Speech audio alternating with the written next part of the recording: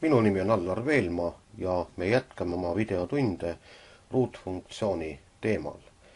nimelt vaatame nüüd siis ruutfunktsiooni y on ax ruut pluss c, kus a ilmselgelt ei tohi null olla, sest sel juhul ei ole tegemist lihtsalt ruutfunktsiooniga ja arv c kuulub reaalarvude hulka, see tähendab seda, et arv c võib olla tegelikult siis mis tahes arv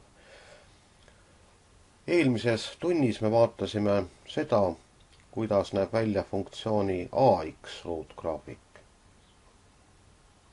ja nüüd huvitab meid see, et kuidas siis x-i ruudu ole, järel olev pluss kaks või miinus x-i ruudu järel olev pluss kolm mõjutab graafiku asendit.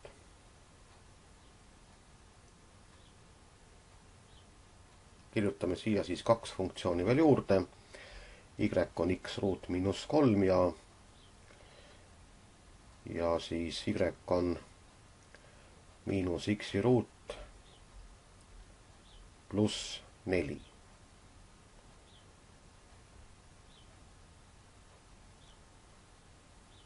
vaadake, arvud pluss kaks, miinus kolm, pluss kolm ja pluss neli ilmselt hakkavad nüüd mängima siin olulist rolli. nimelt, kui meil oleks lihtsalt Y on X-i ruut, siis me neid väärtusi loomulikult oskame arvutada, aga nüüd me peaks siis iga kord veel kaks juurde liitma, mis tähendab seda, et meie parabool nihkub ülespoole. ka teine parabool nihkub ülespoole ja ka see parabool nihkub ülespoole nii et hakkame nüüd vaatama, kuidas siis see lugu meil pildi peal välja näeb. Y on X ruut pluss kaks. kõigepealt oleks siis mõistlik meil joonestada siis põhiparabooli graafik. näete, Y on X-i ruut. seda oleme me oma tundides juba nüüd mitu korda teinud ja loomulikult olete seda koolis teinud kümneid, kui mitte öelda siis sadu kordi. nii et kõigil on see selge, kuidas näeb välja Y on X-i ruut.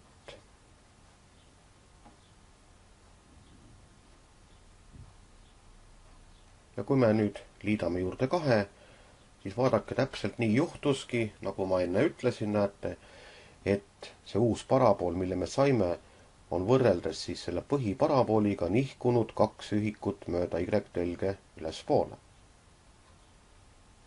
Kõik punktid, mis paiknevad selle parabooli peal, on võrreldes siis põhiparabooliga nihkesse läinud, nihkunud kaks ühikut ülespoole.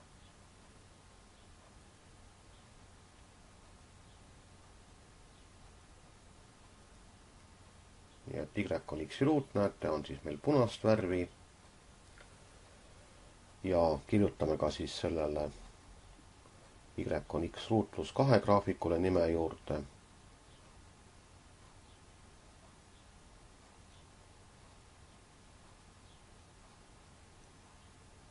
nii et me peame valima siis siit väärtuse.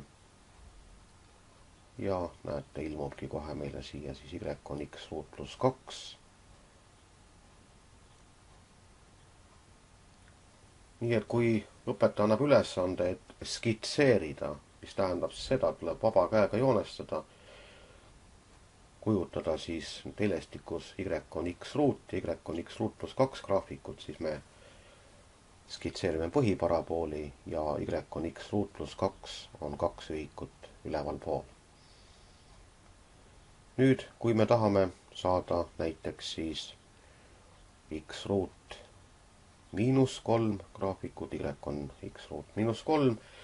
loomulikult miinus kolm mõjutab nüüd sedavõrd, et uus graafik tuli siis võrreldes põhi, põhiparabooliga kolm ühikut allapoole.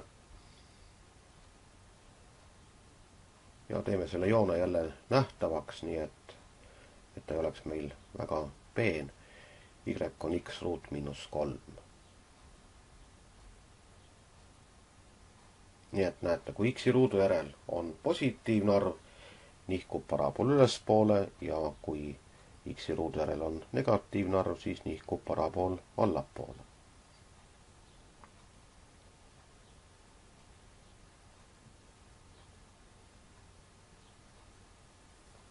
Vaatame nüüd läbi ka need juhtumid, kui ruutliikme kordaja on negatiivne. nii et eelmised paraboolid me viskasime minema, neid meil enam tarvis ei lähe. ja vaadake, siin me enam seda tabeli arvutust ei tee, kuna neid tabeleid olete te koolis trillinud piisavalt palju, nii et eh, siis mingit vajadust enam selle järgi siin arvutustehnika arendamisega siin praegu hetkel enam ei tegele. Nii et näete, Y on kõigepealt siis paika pandud meil, eks ole, Y on miinus X-i ruut ja nüüd hakkame vaatama, kuidas näevad siis välja need kaks graafikut.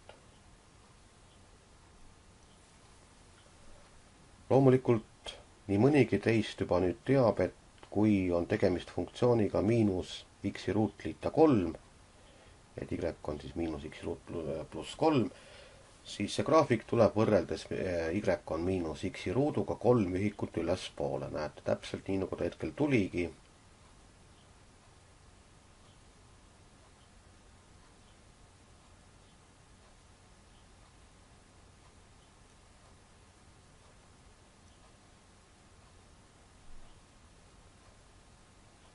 ja nihutame siis selle nime ka nüüd, näete niimoodi, et te näete seda Y on miinus X-i ruut pluss kolm miinus x-i ruut pluss neli.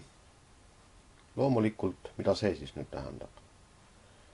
see tähendab nüüd seda, et see viimane graafik peaks olema siis võrreldes miinus x-i ruuduga neli ühikut ülespoole. et kõiki neid asju te saate programmiga GeoGebra ise rahulikult kodus läbi teha, te võite neid mitmeid kordi proovida, seni kuni asi saab selgeks.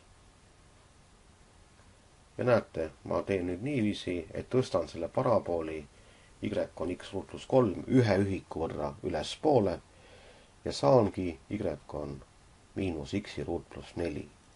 nii et tõstsin ühe ühiku võrra üles